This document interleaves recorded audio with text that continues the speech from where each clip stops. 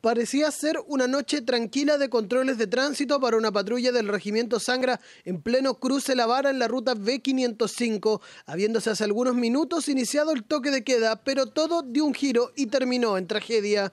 Esto porque una camioneta que habría tratado de eludir el control embistió al soldado conscripto Hugo Muñoz Sotomayor, lanzando el cuerpo por algunos metros. Rápidamente comenzaron los primeros auxilios, llegando al lugar bomberos y personal del SAMU, quienes practicaron maniobras de reanimación por largos minutos, no surtiendo efecto, constatando la muerte del uniformado minutos antes de la medianoche. Nosotros fuimos despachados a un atropello de personas eh, aquí en el cruce La Vara.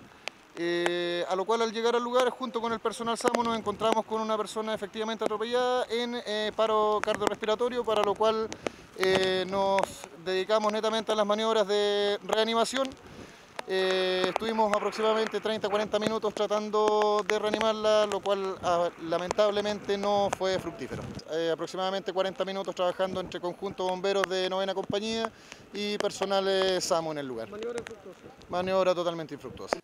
El lugar fue aislado y el conductor detenido e identificado como Rolando Sea Ramos, quien fue aprendido por carabineros cuyos primeros antecedentes dieron cuenta que el hombre conducía bajo normal estado de temperancia, eso sí, no mantenía un salvoconducto. Se hicieron las pruebas respiratorias, por ahora no hay elementos que nos lleven a concluir que pudiera haber algún tipo de temperancia eh, alcohólica o algo que pudiera barajarse. Al parecer todo indica que pudiera ser producto de que iba siete minutos tarde después del inicio del cumplimiento del aislamiento nocturno.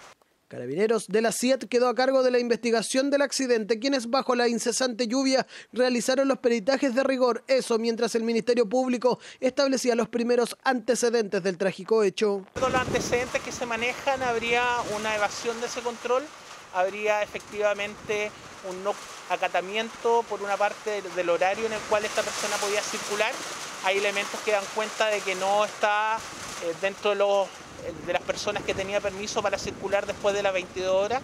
Habían transcurrido ya 7 minutos desde el inicio del cumplimiento del eh, aislamiento nocturno y esta persona no tenía los salvoconductos respectivos y habría por ello evadido esta, este control. Bajo la lluvia que marcó la madrugada del lunes, el cuerpo del soldado fue levantado y trasladado hasta el servicio médico legal, ello a la espera de los resultados de los análisis que establezcan la causa de muerte, mientras el conductor del vehículo fue pasado a control de la detención.